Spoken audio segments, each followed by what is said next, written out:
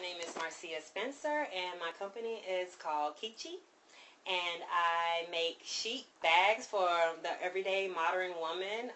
The inspiration for my bag is basically I'm a I'm a 70s baby. I'm a 70s lady and I love 70s fashion. I love chic, minimalist type stuff. I love um, leathers. I love um, bold prints. My inspiration actually. I'm my muse, you know, so I just kind of whatever I'm feeling, whatever I like and you know whatever it might be something that I'm experiencing that that season or that month and I just put it into my bag. It's just it's an expression of, of me basically. The process you would think would be I would draw the bag and you know sketch the bag and you know source the materials and stuff like that but really I I kind of do it a little different. I see fabrics and leathers and hardware that I like and I get them and I kind of put it out in front of me and it just kind of comes together.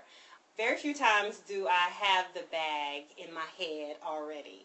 It, the fabrics and the pieces just kind of speak to me and I just I create something I'm like oh my gosh you know that's you know that's exactly what I would carry